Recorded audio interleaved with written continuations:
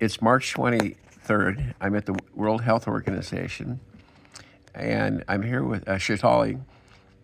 Uh, and I'd like you to begin the interview by introducing yourself uh, and telling us a little bit about yourself. Mm. Hi, everyone. Thank you, Jamie, for the interview. I'm Chetali Rao, and I am a biotechnologist and an intellectual property and trade lawyer.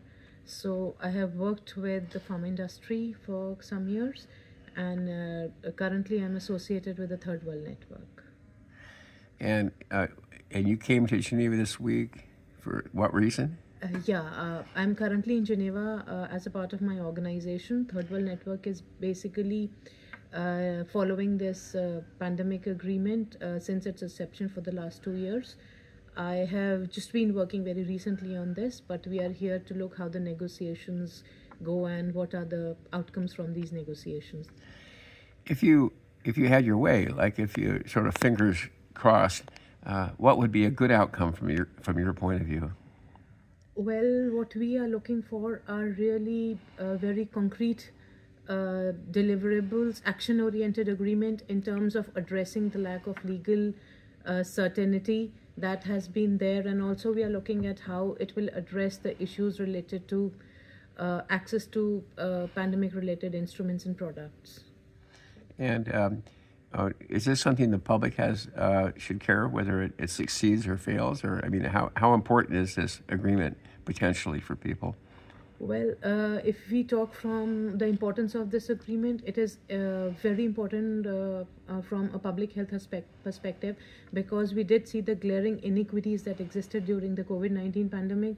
We also saw how the products in case of monkeypox as well as Ebola were not uh, available at the places where they were most needed. In fact, recently also there's been a monkeypox outbreak and the products are not there. So, in terms of that, I think we would uh, urge the member states to work very cohesively and look at something which is very concrete in terms of how products are delivered and how the inequities in terms uh, of uh, pandemic related products are actually not only pandemic related i think in terms of uh, products related to infectious diseases are also uh, probably delivered to the people who need them the most. What are the issues that you think uh, the delegates are have the most consensus on and what are the areas that seem to divide them the most well, I think there's a uh, there's a consensus and there's a positivity in uh, what I'm uh, hearing and looking at is that everyone wants to uh, have uh, uh, I think an agreement going forward that everyone is actually positive that they are looking forward to get an agreement. And the disagreements obviously are something related to the personal and I think it's related to the country level issues as well as I think related to pathogen access and benefit sharing. So there are a little uh, uh, issues that are, uh, I think, a point of contention among the uh, developed and the developing countries.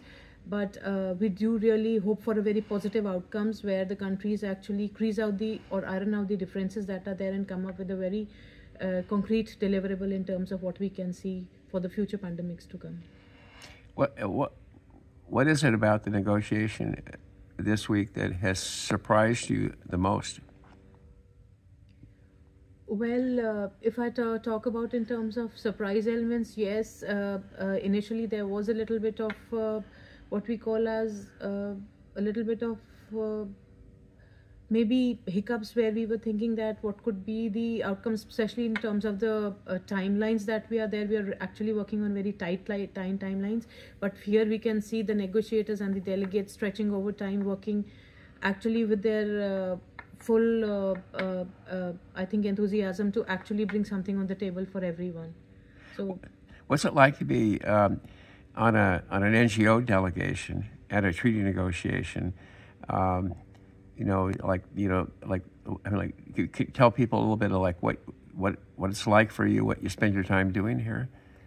Uh, this is my first uh, visit to uh, the to the uh, in fact my first being a part of the negotiations as a part of the NGO uh, delegation. Uh, but though on the sidelines, NGOs have not directly been involved in the process as relevant stakeholders. We did get a uh, we did get to meet the uh, and raise our concerns and discuss the viewpoints that we had uh, uh two days back. Uh, but it is very it is a very positive atmosphere with a lot of other NGOs and other delegations NGOs working here and there's a very healthy mix of talking to everyone and looking at what everyone is uh, anticipating to be an outcome of this project and also with the interactions with the delegates and also you get to know what is actually happening and you know how we also know how to modulate things and what we are looking forward to and how it is. Yes uh, because we are not directly a part of the process so it is obviously sitting on the uh, sidelines or the periphery and waiting for inputs to come on. But uh, for me being my first negotiation it is a very uh, I, I get a very positive uh, vibe from how things are going on. Uh, what what advice would you like to give the negotiators at this point here on sa- on Saturday the first week of the negotiation on INB nine? I think not a advice probably, but I think I would really request the, uh, and urge the member states to uh, actually. Uh, I think to uh, very concretely come up with a document that addresses the issues that we faced in the previous pandemics, and also I think to develop uh, and build upon an agreement which is very concrete in terms of the deliverables that will be an outcome of this pandemic, because we are actually looking at very very concrete deliverables as to how products can be the things that we saw in COVID may not be repeated. So it's all about pandemic preparedness and the things that come out of it. I think we are also looking at how to make products, concrete products available to countries who did not get it during the pandemic in terms of therapeutics, vaccines, as well as, I think, diagnostic. thank you. Before I, I, turn off the video, is there any, any last uh, thought you'd like to add? Uh, no, uh, not really, but yes, it's been a very positive and uh, very positive atmosphere had here at the WHO, and looking at how everyone is everyone is pushing themselves and working on uh, to bring uh, there there is a euphemism about everyone how everyone is working and that's really positive about it but yes going forward i think major i think one of the things that we would really look forward is more concrete inclusion of uh, stakeholders like the civil society organizations inside this uh, uh, process. Thank you. Thank you very much. Thank you so much, Amy. Thank you.